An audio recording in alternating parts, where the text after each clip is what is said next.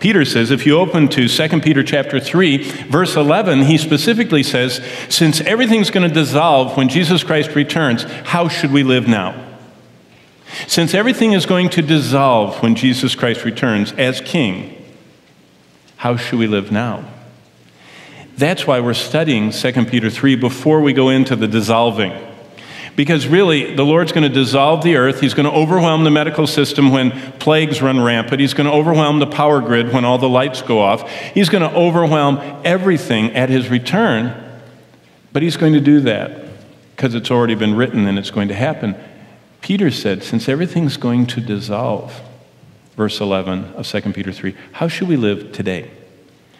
Did you know we gather because we believe that Jesus Christ, and we're going to celebrate his resurrection in a couple weeks, we believe he's real, he's alive, that he has spoken, and that what he says has, has a direct impact on today in our lives. We say that we're his followers. And so Peter speaks one of the most timely messages, and we're going to actually look at, at the whole overview of all 18 verses and see even a repeated word that he uses. But what Peter says is since all of Revelation 6 onward is going to happen, should you live any differently today? And, and really, the response is at communion at the end of the service this morning. Communion ought to be a time where we say, Lord, everything is going to be dissolved. And Lord, you've told me how you want me to live here. And I want what I know to start lining up with what I do. And that's, that's why we gather every time. But let, let's look at 2 Peter 3. Every day, each of us makes a big choice. Every day, we choose which master we're going to follow.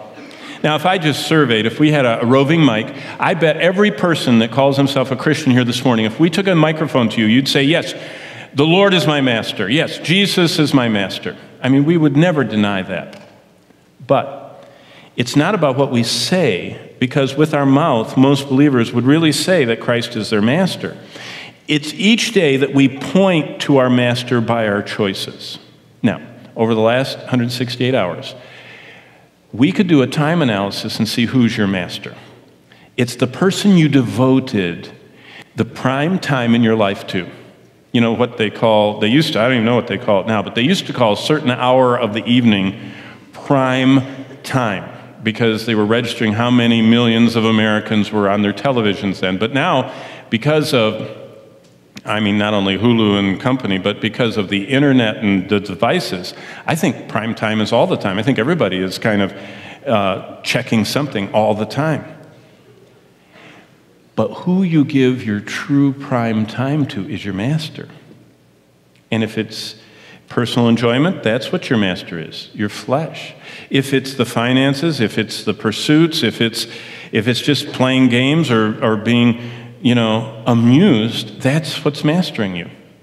Peter said every day, by our choices, by our time investments, with our motivations that drive our handling of money, these are the actions that speak louder than our words. These are the choices the little ones incrementally that really show who our master is.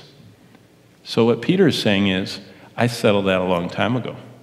In fact, both of his epistles, he keeps going back to what happened to him as a young man when he met Jesus Christ. And Jesus called Peter with two words. This past July, I, we, we regularly, each year, we take people to Bethsaida, where, in Israel, by the Sea of Galilee, where Peter is from, where he lived. And we always read the two word call Jesus gave him follow me. And it says he dropped his nets and followed Christ. Jesus was his master. Your master, you follow, you respond to, you obey.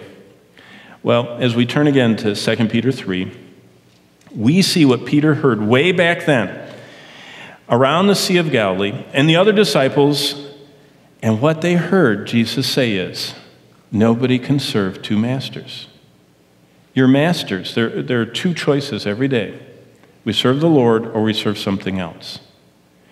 You can't do both. Jesus said they're mutually exclusive. No one can serve two masters. Either love the one and despise the other, you hold to the one and and reject the other. You can't have both, Jesus said. And so, Right there at the start of his ministry, Jesus came right to the point. He told Peter, You've got to be choosing which master you'll follow. And you know, this morning we need to be choosing which master we'll follow. That's what this whole passage is about. This whole passage is since the Lord's already told us how everything's going to be dissolved, how are you're supposed to live today. Don't worry about how he's going to dissolve it, he's going to do it. In fact, it was interesting. I was my son goes to an early Bible study and he was prepping for it and we were up early and he was talking to me and he says, "Dad, he says, Does it matter that I still have trouble understanding parts of Isaiah? And I said, Honey, or, well, he's too big to call him honey. I said, Young man. Uh, actually, did probably call him honey. Oh, I, I come to think of it, I shouldn't do that because he's big. But I said, Did you know that Peter said that he had trouble understanding what Paul wrote? You understand that? None of us perfectly understand all the scripture, but the parts we do understand, we should obey and respond to. And so this morning we should be choosing which master we'll follow. And we have a choice of masters, and only one can be served. And Peter says, I'm going to hold on to that master that called me to follow him all my days. And so 2 Peter 3, Peter exhorts them. what I want you to see, we're going to actually look at all 18 verses, but I want you to see one word that Peter repeats five times. Now, you know what? If someone repeats something over and over again, either they're trying to emphasize it or they're forgetful, okay? And, uh, you know, I regularly, I, I, all the different groups, you know, the staff, and when I'm with the pastors and when I'm with the elders, I say, I don't know, did I already tell you this story? You know, because I know that I probably repeat them. But Peter's not forgetful. Five times he uses the very same word. And you can see it. In fact, this morning, if you want to do something interesting, you ought to circle it because it will remind you of the tone that Peter challenges. Peter doesn't come in and read him the riot act and yell at him and say, You guys, get your act together. You need to be living differently. What he says is, Beloved, beloved, beloved, beloved, beloved. Five times in one little chapter. Do you think he meant it? Do you think he was emphasizing? Yes, that's the tone. What he's saying is, Jesus loved us so much, we should respond. In fact, that's the reason for obedience. We respond in obedience to Christ because we love him, because he is beloved of our heart. And Peter said, because of that, you should obey. So, 2 Peter 3, starting in verse 1, let's all stand and you just follow along in your Bibles. I'm going to show you this word study, and then we're going to dig into it this morning. And I want you to see the tone and have that jump off the page so that as you hear his exhortation, you catch the flavor. It's very gentle. Verse 1. That's the first beloved, by the way. Beloved, number one. I now write to you the second epistle, in both of which I stir up your pure minds by way of reminder, that you may be mindful of the words which were spoken before by the holy prophets and of the command of us, the apostles of our Lord Jesus. He says, Beloved, be mindful of the Word of God. second one, look at verse 8. But, beloved, number two, do not forget this one thing that with the Lord a day is as a thousand years, and a thousand years is one day. And the Lord is not slack concerning his promises, as some count slackness, but he's long suffering toward us. He's not willing that any should perish, but that all should come to repentance. Now look down at verse 14, beloved number three.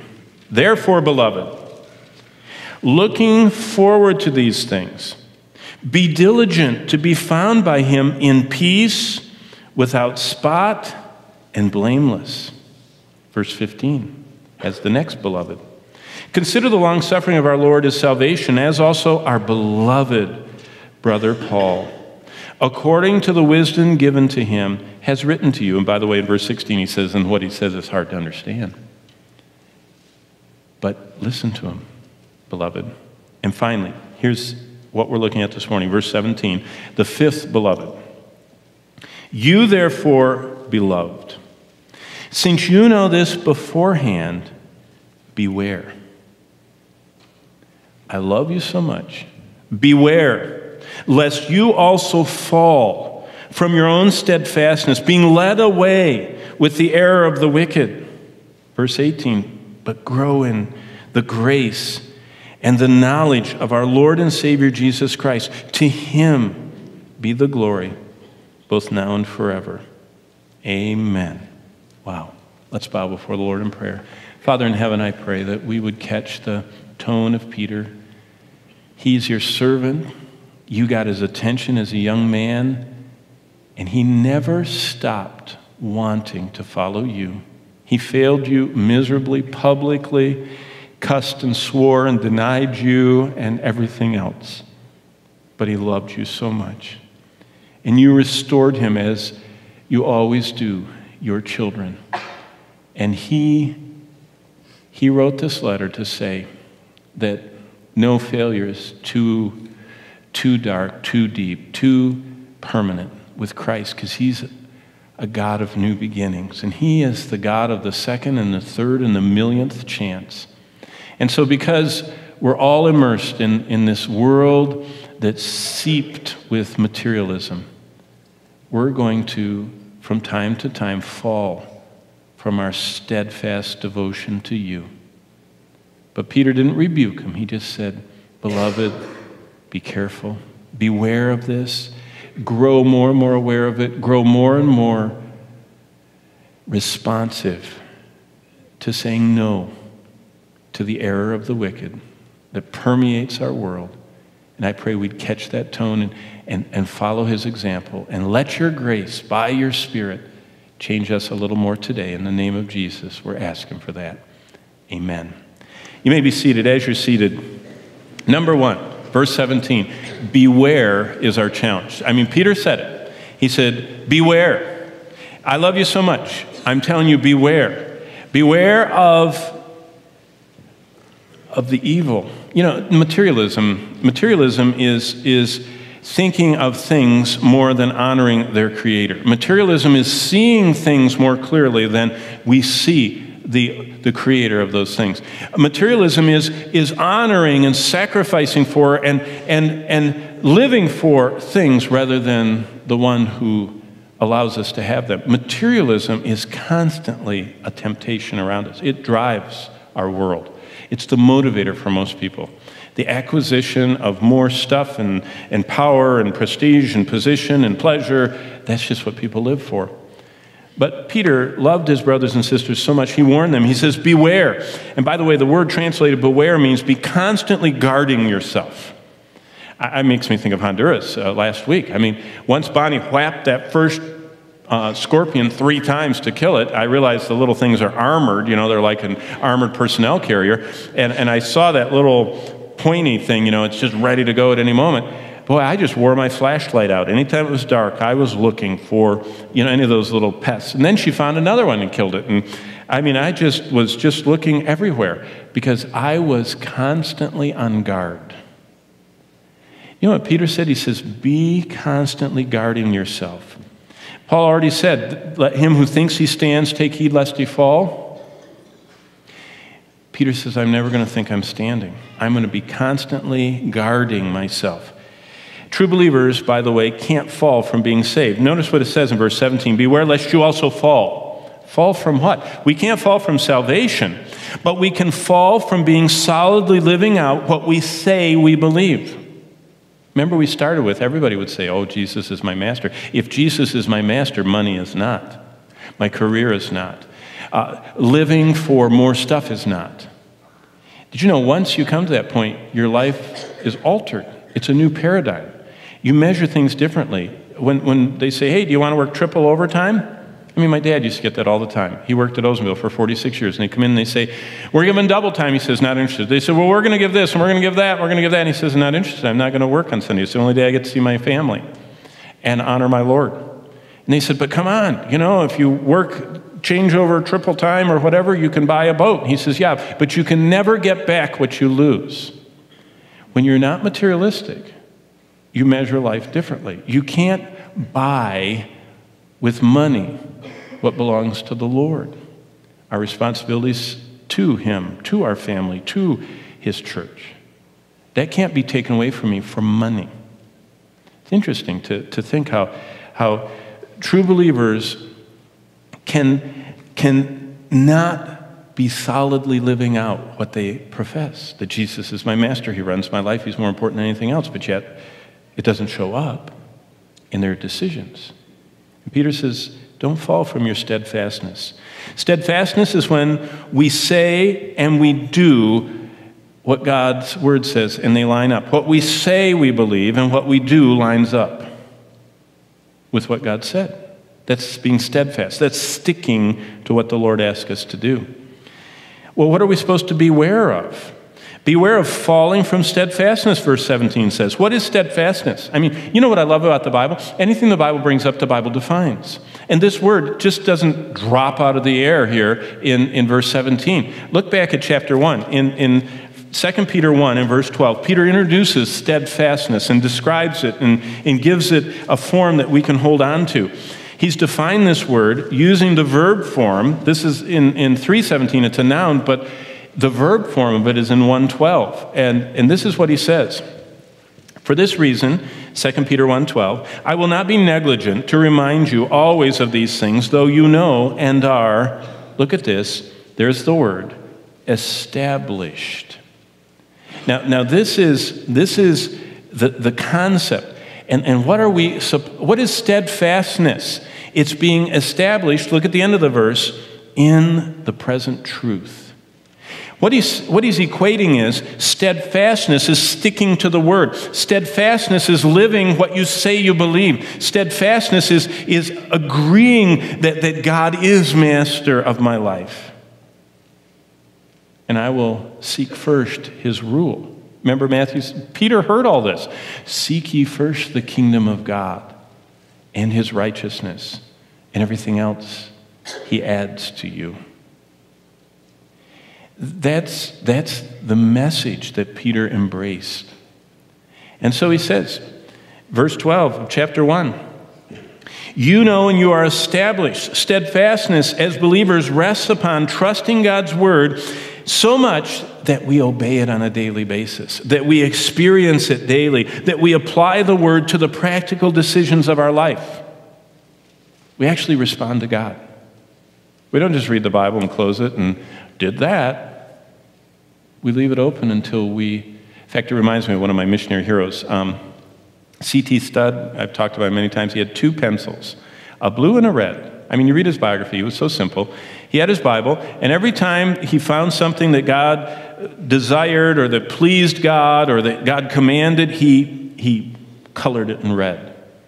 And then he'd stop right there and he would go through a process of saying, Lord, if that's what you desire, if that's what pleases you, if that's what you command, because you bought me and own me, and he'd pull out his blue pencil.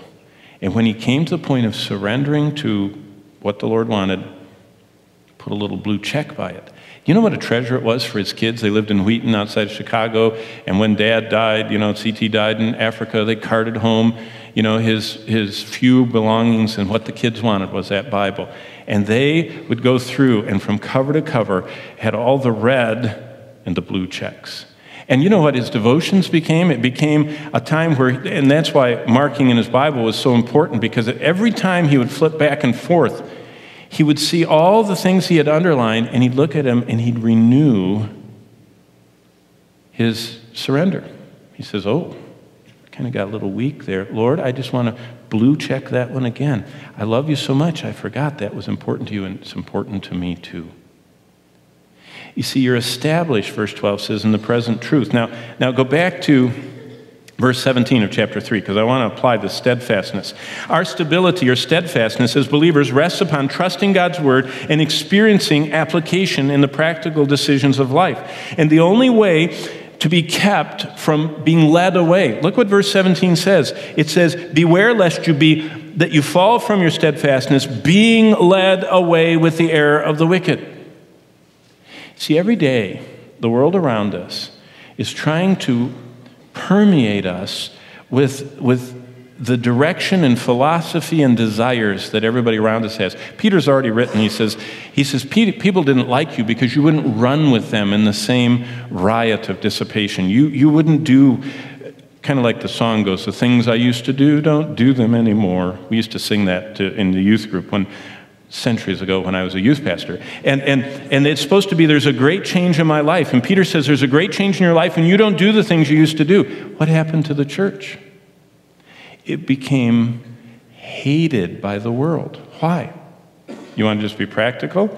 in the world, they, they, their jobs, when you went to work, you would you were in trade guilds, unions, and the first thing you do in the trade guild is you would bow to the local patron god that blessed your work.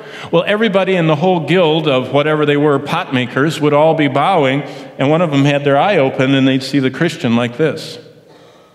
And the union boss would come and say, What's wrong with you? Bad back? And he'd say, No, good heart.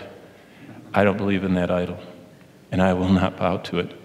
And they said, Well, we'll give you a couple more chances, but you can't be in the union if you don't bow. And there was the choice. Couldn't live in as nice a house if you weren't in the union, the guild, but you couldn't honor God bowing to the idol. And so, across the empire, as people became saved, instead of just attending church, having their names in the rolls, and saying, Yeah, I believe all that, they lived it. Why Christianity swept the empire was not because they had big buildings and programs and mega everything. It's because people at work changed their behavior because they were Christians. And the next thing that happened is the Christians were all sitting there with everybody else and they're watching people getting butchered and their blood flying all over the place. And they, were, they said, Whoa, didn't I read in Haggai that God doesn't like me looking at bloodshed? So they talked it over, and pretty soon the Bible study group said, you know what? We're not going to the, the Colosseum anymore for, you know, for watching those animals eat the people. This is before the Christians got eaten. I mean, they just started withdrawing. And then they were at the theater. And they didn't have television back then. So every evil that you watch on television, they did live. I mean, they did, they did immorality, real thing, on the stage. And the Christians went, Oh, we can't look at that. That would be like uh, dishonoring God. So they started withdrawing from the trade unions. They withdrew from the, the, the ghastly, bloody sports. They withdrew from the, and that's why Paul says, don't even have a hint of immorality. And he says, a hint. The theater is filled with it. We, we won't go to the theater. Then, sports. Sports didn't get popular in the 20th century. It's always been popular. The Olympics started back then. And they started going to the sports event, and there went this naked person running by, and they'd already read the Bible. You're not supposed to look at nakedness. And they said, Well, wow, they do the sports with no clothes on. We can't come to this now. And that's why they were persecuted. But, but look what it says in verse 17 Beware lest you fall from your own steadfastness, being led away with the air of the wicked. What the people next to him said is, Stay, just close your eyes, don't look at that moment. Or, or you know, just bow a little. And, and, and that was the constant threat of just little incremental being led away with the error of the wicked.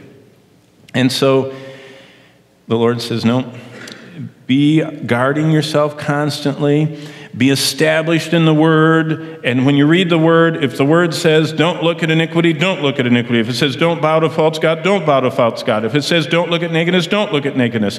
And when you start lining up what you say you believe with your everyday life, it's transformational. Can you imagine what would happen in America? I mean, I'm wondering how far the cheerleaders are going to undress before Christians say, I don't want my daughter, I'm not going to be driving her all over the country to learn that, to be uh, one of those. And, and see, it's just, we, we're just, reminds me of, uh, do you remember in the Pentateuch, removing the ancient landmarks? Moses said, Don't move the ancient landmarks. We go, What is that? They used to have stone piles in the corner of their property. And what the, the thrifty farmer would do is at night, he'd look around, he'd move the stone pile just a foot over into his neighbor's, you know, property. Next morning, bright and early, he'd be plowing along and you couldn't even tell. And he'd added an extra foot to his field. And then he'd go out, you know, a little later and he'd move the stone pile on this neighbor's side and he'd plow again. And, and it was that slow, tiny, incremental moving those landmarks and saying, well, it's not as bad. It's not. And, and God says, don't move the ancient landmarks, leave them alone. And when you come up to it, that's the end. Don't go past that.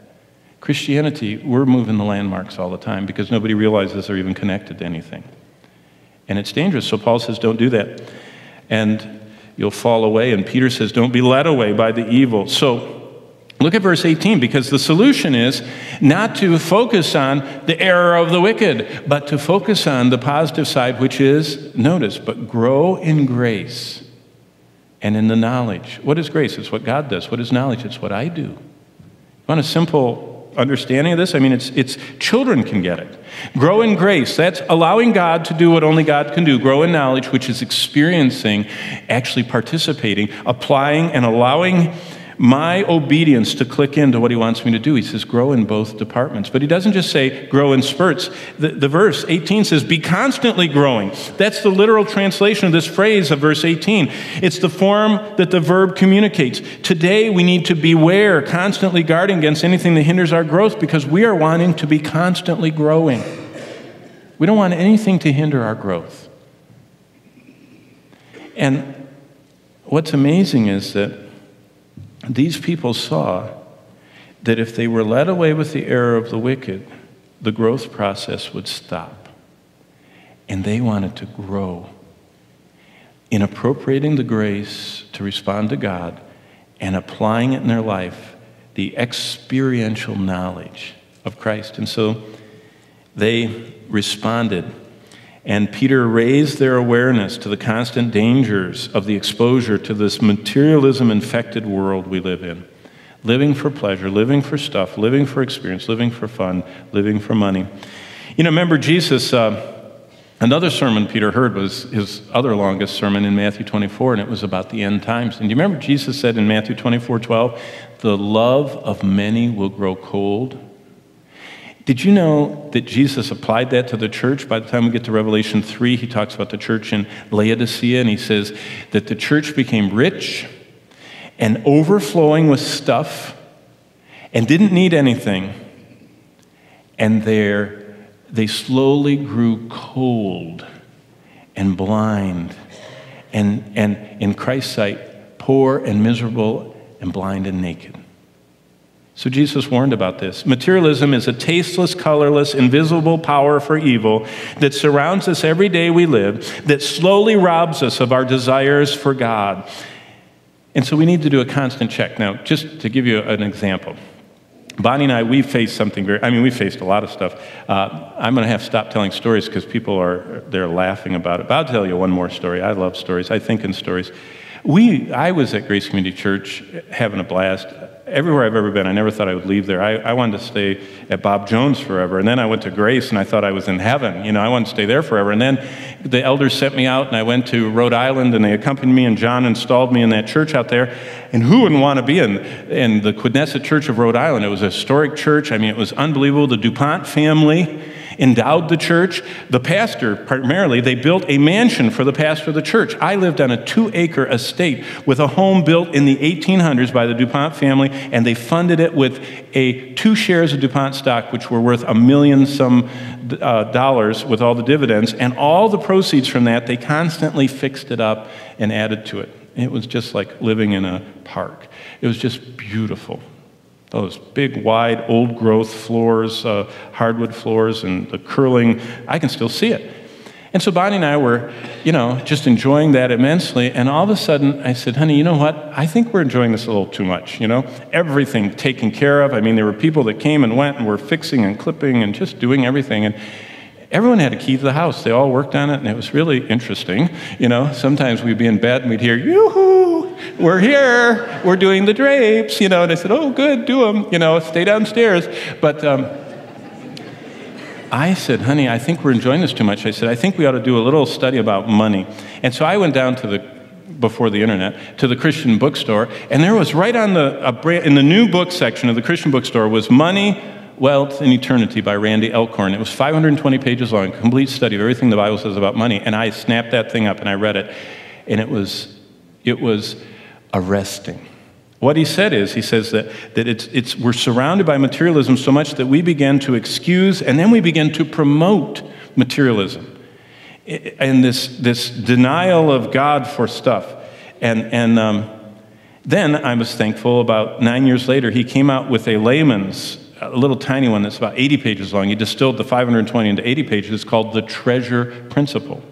And so I regularly read that thing and follow his little grid to see whether materialism is seeping in, kind of like radon in your basement, you know, whether it's getting in to your family. And so, what I'd like to read to you are I read it again this week, the treasure principle, the short one. And, and I picked out, underlined, and picked out 10 what I call life altering truths to fight materialism. These are just, I counted them, 395 words that Randy Alcorn wrote. He, I think he's a great guy. By the way, he believes what he teaches. He's an anti abortionist, so much so that in the 80s and 70s, he would sit in front of the clinics. You know how they'd lay down and grab stuff, you know, and so that they would block the, the gates? And so the US government invoked the racketeering um, laws against Pastor Randy Alcorn and seized his house, his car, all of his money in the bank. And they said, Every wage you make in your salary, we're going to take a percentage of it for the rest of your life. And he says, Great, do it. Next day, you know, he's back down holding on at the clinic. And what he did is he just told the church, he says, uh, I'll, if you let me, I'll live in a house that you own, and I'll drive a car you own, and all my books. He had sold millions of books. He says, I'm, and he got a lawyer, and he rewrote all of his future books and he did new editions and gave them to the Lord. And, and gets no money from it. He just lives on $8 an hour or whatever they pay him at the church. And so, I mean, he really believes this stuff. And so, let me read to you what he believes. Number one, this is a simple one. First, life altering truth. You can't take it with you, but you can send it ahead. Wow. If we really believe that, if we really believe that, that we can't take any of this stuff to heaven, we would be strategizing how to send the maximum amount ahead instead of not.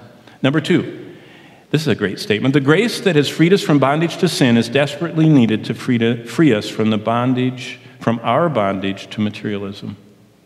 Do we really think that? Number three, God prospers me not to raise my standard of living, but to raise my standard of giving. Wow, that kind of sounds like a when I used to be in the Southern Baptist Church in Georgia, it sounds like a slogan for a campaign of giving for a building or something. But that's actually what the Bible says that God gives us these things to reflect his ownership of our lives. I always remember John MacArthur when I was on staff there. He said that the elders kept raising his pay to see if he'd be a good steward and give it back to the Lord. Isn't that interesting to think about? Not to raise your standard of living. Number four, God doesn't look at what we give, not only at what we give, He also looks at what we keep. God judges what we give by what we keep. Remember what the giver Jesus honored? The widow who out of her poverty gave, gave so little, but proportionately it was everything. That's what the Lord notices. Number five, Alcorn says, I've heard people say, I want to have a heart for missions. And I always respond, Jesus tells you exactly how to get it. Put your money in missions, put your money in the church and with the poor, and your heart will follow. Did you know that the purpose of the church is not to be begging and putting advertising and saying, come on, come on, come on, come on, get involved, get involved, get involved? The people who are invested here are involved here. And the people who aren't, you can't drag them in because they don't have an investment. Because Jesus said, where your treasure is, your heart follows the treasure. And so that shows who the master is. Number six, when Jesus warns us not to store up treasures on earth, it's not because wealth might be lost, it's because wealth will always be lost. Either it leaves us while we live, or we leave it when we die. No exceptions. Realizing its value is temporary should radically affect our investment strategy. And then I love this. According to Jesus, Storing up earthly treasures isn't simply wrong, it's just plain stupid. Now, do we really believe that? Does that show? Number seven, it's increasingly common for Christians to ask one another those tough questions How's your marriage? Have you been spending time in the Word? How are you doing in terms of sexual purity? Have you been sharing your faith? But how often do we ask, how much are you giving to the Lord? Or, have you been robbing God? Or, are you winning the battle against materialism? Reminds me of uh, the first pastor sent out from Grace Church. His name was Daryl DelHousaye. Good friend of mine. He was a junior high pastor, and he told John, I want a pastor. And John said, Okay, we'll send you to this needy place in Phoenix, Arizona called Scottsdale. And so he went to Scottsdale with this little group of a couple hundred people that were struggling and, and had had all kinds of problems. And Daryl ministered the word, systematically, expositionally taught, and he comes back a few years later and gets the plans to the Auditorium of Grace, and he rebuilds the, the 3,500 seat auditorium that he came from at Grace, and the church swelled to several thousand. I mean, when I went there last, it was six or 7,000 attending.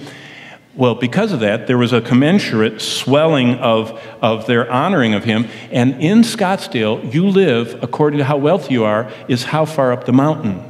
You know, Shadow Mountain and all these other mountains there. And so, Camelback. And so, the, the further up the mountain means you're wealthier because you can see more of the lights, you know, in the desert and the sunrise.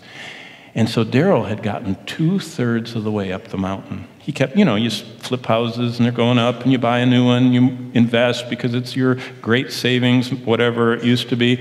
And he's two thirds of the way up, and he's preaching through this stuff. And he talks to Holly, and he says, You know what, honey? I figured that if we sell our house, we could free and clear own a house down in the flatlands, and the 2,500 or 27, whatever it was, a month mortgage payment, we could outright support our own missionary for the rest of our life. And so Holly said, Great idea. And they sold their house just like that, moved down to the flatland, told no one in the church. And next Christmas, everyone came up to bring their presents, knocked on the door, and they weren't there. And they said, What? And they said, Well, they moved down there. And, and people started mobbing their house. They said, What happened? Why did you move down here? And he slowly, one by one, told the church. And you know what happened? people started selling their houses and moving down to the flatlands. And their mission trips started having 500 people at a time going on short term missions. Everybody wanted a part of, of it.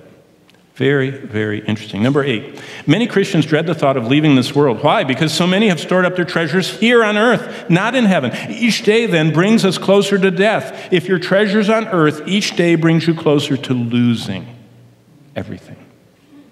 And that isn't good. Number nine, he who lays up treasures on earth spends his life backing away from his treasures. To him, death is loss. He who lays up treasure in heaven looks forward to eternity. He's moving daily toward his treasures. To him, death is gain. Sounds like a verse, right? That Paul wrote. Wow. He who spends his life moving toward his treasures has reason to rejoice.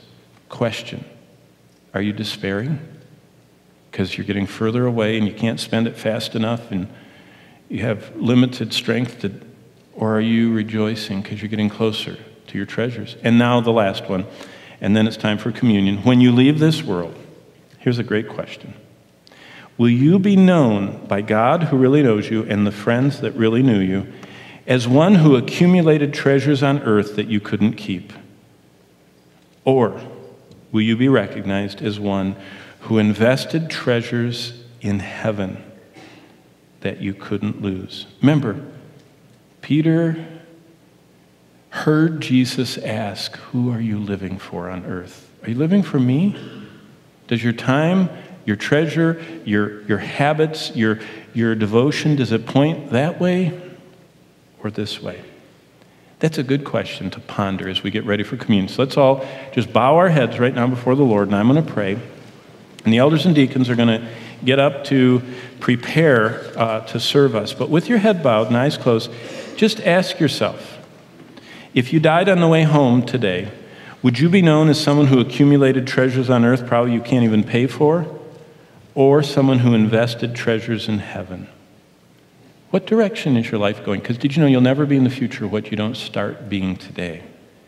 And communion is when we say, Lord, you're my master. You get first place of my time. You get first place of my schedule. You get first place. I want you to direct my career, not, not the world. I want you to be the owner of all that I have. Communion is where we say, Lord, you bought me at a price, and I want to glorify you. And Father, thank you for letting us gather around this table.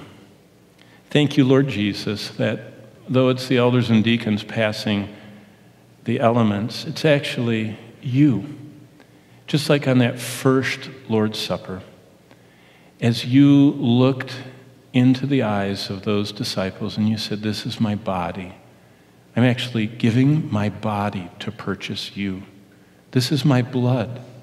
I'm pouring out my life because I love you so much. And all I want in return is for you to know that you were bought at a price, and therefore do what glorifies me because you love me. And Lord, I pray at this communion, that's what we would do. And as we talk about you who died for us, and at your name, our knee is going to bow in heaven. May our knee bow in the schedule and choices we make on earth. And may we not only enthrone you in our hearts, but may we enthrone you in the little decisions we make every day of what's going to get our attention. And we'll thank you for this bread and the reminder you bring. In the name of Jesus, we thank you. Amen.